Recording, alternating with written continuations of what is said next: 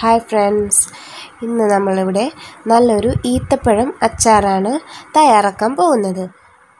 ഈത്തപ്പഴം അച്ചാർ എങ്ങനെ തയ്യാറാക്കാൻ നോക്കാം.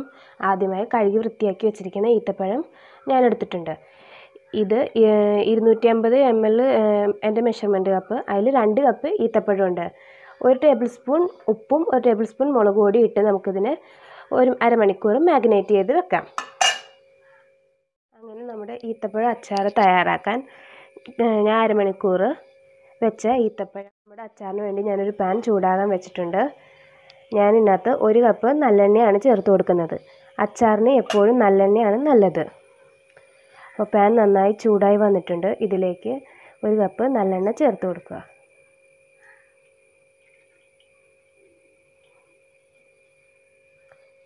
നല്ലെണ്ണ എണ്ണ നന്നായി ചൂടായി വന്നിട്ടുണ്ട്.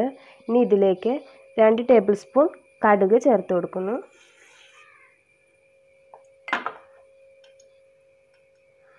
അത് നന്നായി പൊട്ടി വന്നോട്ടെ കേട്ടോ.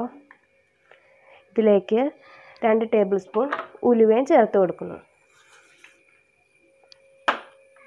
ഇത് രണ്ടും നന്നായി പൊട്ടി വന്നതിന് ശേഷം നമ്മളിതിലേക്ക് ബാക്കി സാധനങ്ങൾ ചേർത്ത് കൊടുക്കാം നല്ലെണ്ണയിൽ അച്ചാറിട്ട് കഴിയുമ്പോൾ അത് ഒരിക്കലും കേടായി പോകാൻ സാധ്യതയില്ല.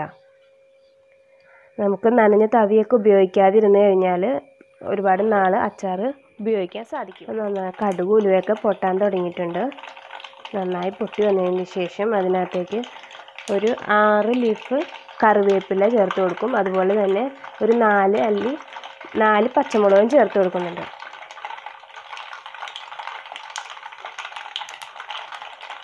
കടുക് ഉലുവയൊക്കെ നന്നായിട്ട് ചേർത്ത് കഴിഞ്ഞാൽ ഈ അച്ചാർ പൊടി ഉപയോഗിച്ച് ചെയ്യുന്നത് കൊണ്ട് തന്നെ ഉലുവയൊക്കെ നന്നായിട്ട് ചേർത്ത് കഴിഞ്ഞാൽ അച്ചാറിന് നല്ല കടുക് ഉലുവയൊക്കെ പൊട്ടിക്കഴിഞ്ഞു. ഇനി അതിലേക്ക് നമുക്ക് കറിവേപ്പിലും അരിഞ്ഞ് വെച്ചിരിക്കുന്ന പച്ചമുളകും ചേർത്ത് കൊടുക്കാം.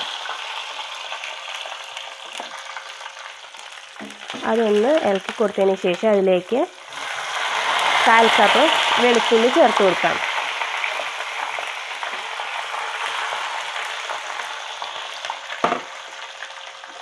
കാൽ കപ്പ് ഇഞ്ചി കൂടി ചേർത്ത് കൊടുക്കാം.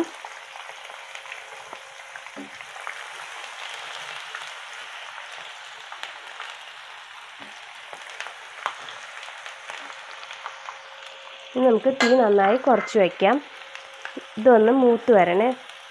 വെളുത്തുള്ളിയുടെയും ഇഞ്ചിയുടെയും പച്ചമണം മാ പച്ചമണം മാറുന്നത് വരെ ഒന്ന് മൂപ്പിച്ചെടുക്കാം.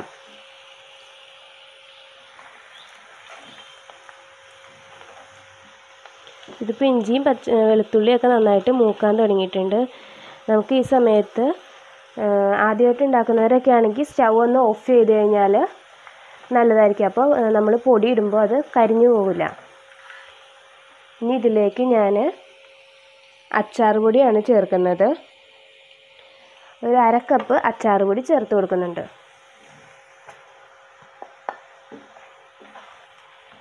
നന്നായി ഇളക്കി കൊടുക്കണം അല്ലെങ്കിൽ പൊടി കരിഞ്ഞു പോകാൻ സാധ്യതയുണ്ട്. പൊടി നന്നായിട്ട് ഇളക്കി നല്ല മൂത്ത് വരണം പൊടി.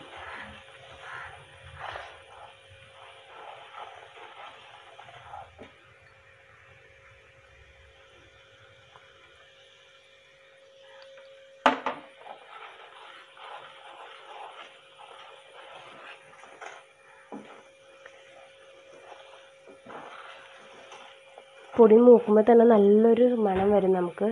ആ മണം കേൾക്കുമ്പോൾ തന്നെ നമുക്ക് മനസ്സിലാവും. ഈ അച്ചാർ പൊടിയൊക്കെ നന്നായിട്ട് മൂത്തിട്ടുണ്ടെന്ന്. ഇത് കണ്ടില്ലേ? ഇതിന്റെ നിറമൊക്കെ നന്നായിട്ട് വ്യത്യാസം വന്നു തുടങ്ങി. ഇനി ഇതിലേക്ക് നമുക്ക് ഒരു അരക്കപ്പ് വിനാഗിരി കൂടി ചേർത്ത് കൊടുക്കാം. പുളി ഒരുപാട് വേണ്ടാന്നുള്ളവരാണെങ്കിൽ ഒരു കാൽ കപ്പ് വിനാഗിരി ചേർത്താലും മതിയാവും. ഈത്തപ്പഴം അച്ചാറായതുകൊണ്ട് തന്നെ അരക്കപ്പ് വിനാഗിരി ഞാൻ ചേർത്തത്. അപ്പോൾ അതിലേക്ക് വിന ഈത്തപ്പഴത്തിലേക്ക് വിനാഗിരിയൊക്കെ പിടിച്ച് കഴിയുമ്പോൾ ഇതൊന്ന് കുറുകി വരും. അപ്പോൾ അത്യാവശ്യം ചാറിലുണ്ടാക്കിയാലാണ് ആ കുറുകൽ നമുക്ക് മാറിക്കിട്ടുള്ളൂ ഇനി നമുക്ക് സ്റ്റവ് കൂട്ടി വയ്ക്കാം. വിനാഗിരി നന്നായിട്ട് തിളയ്ക്കണം.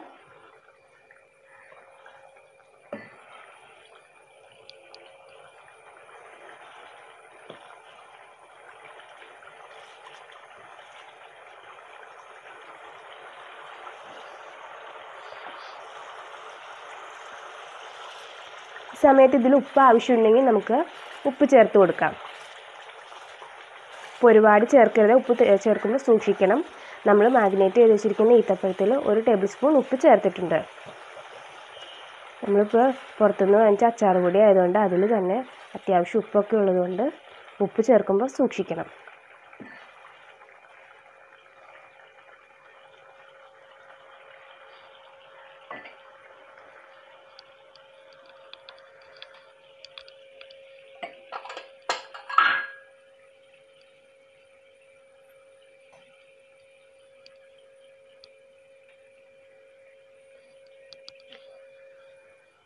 കണ്ടില്ലേ ഇതുപോലെ നന്നായിട്ട് തിളച്ച് വരണം. ഇനി ഇതിലേക്ക് ഈത്തപ്പഴച്ചാറ് ആയതുകൊണ്ട് ഞാനൊരു രണ്ട് ടേബിൾ സ്പൂൺ പഞ്ചസാര ചേർത്ത് കൊടുക്കുന്നുണ്ട്. അത് എന്തിനാന്ന് വെച്ച് കഴിഞ്ഞാൽ അതിന്റെ ടേസ്റ്റ് ഒന്ന് ബാലൻസ് ചെയ്യാനായിട്ടാണ്. നല്ല പഴുത്ത ഈത്തപ്പഴമൊക്കെ ആണെങ്കിൽ ഒരുപാട് പഞ്ചസാര ചേർക്കണമെന്നില്ല. അത് നന്നായി മിക്സ് ചെയ്തതിന് ശേഷം നമ്മൾ ആദ്യം മാഗ്നേറ്റ് ചെയ്ത് വെച്ചിരിക്കുന്ന ഈത്തപ്പഴം നമുക്ക് ഇതിലേക്ക് ചേർത്ത് കൊടുക്കാം.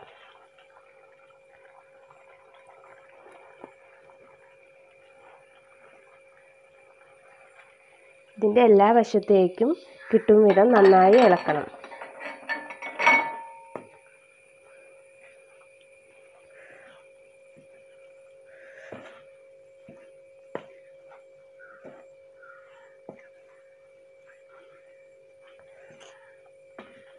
ഒരു രണ്ട് മിനിറ്റ് അടുപ്പത്ത് വെക്കണം. ഇത് ഒരുപാട് പഴുക്കാത്ത ഈത്തപ്പഴമാണ്. അതുകൊണ്ട് തന്നെ നല്ല ഹാർഡായിരിക്കും അപ്പോൾ രണ്ട് മിനിറ്റ് അടുപ്പത്ത് വെച്ച് കഴിയുമ്പോൾ അതൊന്ന് സോഫ്റ്റായി കിട്ടും. ഒരു രണ്ട് ദിവസം നല്ല എയർ ടൈൻ കണ്ടെയ്നറിൽ ഇട്ട് വെച്ച് കഴിഞ്ഞാൽ രണ്ട് ദിവസം കഴിയുമ്പോൾ നമ്മുടെ അച്ചാർ നല്ല പാകമായി വന്നിട്ടുണ്ടാവും. ഇപ്പോൾ അരപ്പിനൊക്കെ നല്ല ടേസ്റ്റ് ഉണ്ടാവും. എന്നാൽ തന്നെയും ഇതൊന്ന് കുതിർന്ന് കഴിഞ്ഞാലാണ് ഈത്തപ്പഴത്തിലേക്ക് ഗ്രേവിയൊക്കെ ചെന്ന് കഴിയുമ്പോഴാണ് അച്ചാറിന്റെ കറക്റ്റായിട്ടുള്ള ടേസ്റ്റ് വരുള്ളൂ. ഇപ്പോൾ തന്നെ നല്ല മണമുണ്ട്. ഇതിലേക്ക് ഈ അച്ചാറിന്റെ കഷ്ണ കഷ്ണത്തിലേക്ക് നന്നായിട്ട് ഗ്രേവി പിടിച്ചാൽ മാത്രമാണ് അച്ചാറിന് നല്ല കറക്റ്റായിട്ടുള്ള ടേസ്റ്റ് വരുള്ളൂ.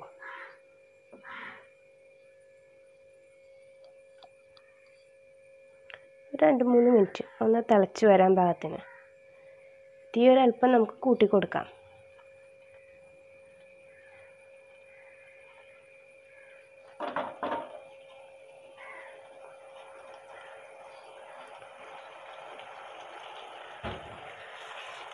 ഇത് നന്നായി തിളച്ച് വന്നിട്ടുണ്ട്. അപ്പോൾ ഇത് മതിയാവും. അപ്പോൾ എല്ലാവരും ഇഷ്ടപ്പെട്ട് കഴിഞ്ഞാൽ ലൈക്ക് ചെയ്യുക ഷെയർ ചെയ്യുക സബ്സ്ക്രൈബ് ചെയ്യാൻ മറക്കരുത്. അടുത്ത വീഡിയോയുമായി വരുന്നത് വരെ. താങ്ക്